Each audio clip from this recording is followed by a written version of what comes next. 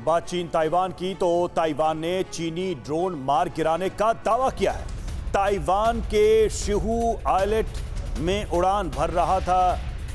UAV और defence attack में चीनी ड्रोन धराशायी ताइवान का दावा। ताइवान के आसपास आठ जहाज़ तिरपन पीएलए विमान, ये डिफेंस मिनिस्ट्री की तरफ़ से जानकारी दी गई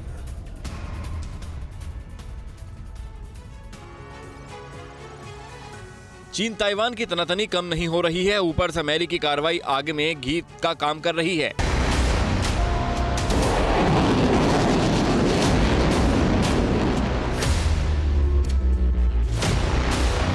ताइवान अब तक चीन के ड्रोन को गोलीबारी से भगाता रहा था, लेकिन ताइवान डिफेंस मिनिस्ट्री ने पुष्टि की है कि उसने पहली बार एक चीनी ड्रोन को मार गिराया है। कल दोपहर ये ड्रोन शिहू आइलेट में प्रतिबंधित क्षेत्र में उड़ रहा था। दावा किया जा रहा है कि सैनिकों ने एसओपी का पालन किया और ड्रोन को भगाने की कोशिश की।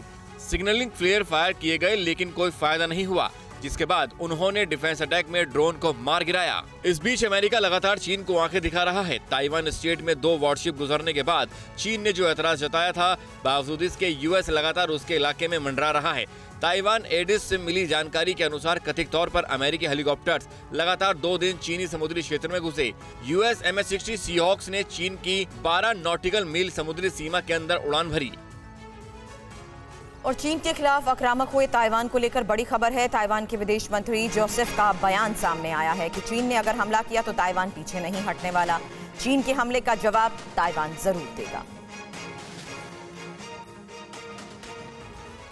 Because Taiwan is not part of China and we are not Chinese territory. चीन को लेकर ताइवान ने अपना रवैया बिल्कुल सख्त कर लिया है ताइवान के विदेश मंत्री ने न्यूज़ चैनल डीएडब्ल्यूओ को दिए इंटरव्यू में रूस के खिलाफ यूक्रेन के स्टैंड की तारीफ़ की है और कहा है कि वक्त पड़ने पर वो भी पीछे नहीं हटेगा Chinese can also do the same thing to Taiwan.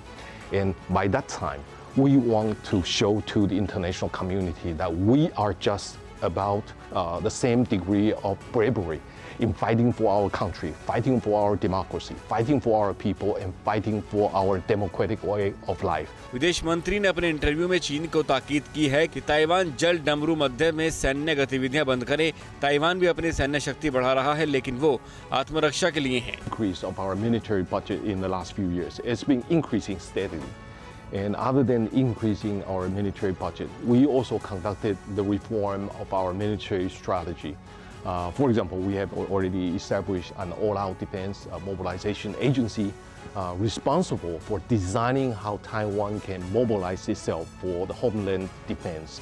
And we also acquire asymmetric weapons uh, and to discuss with the United States uh, how we can best approach चंदन उगाएंगे तो चोर आएंगे बेच नहीं सकते। ये सोचकर आप चिंतित हो क्या?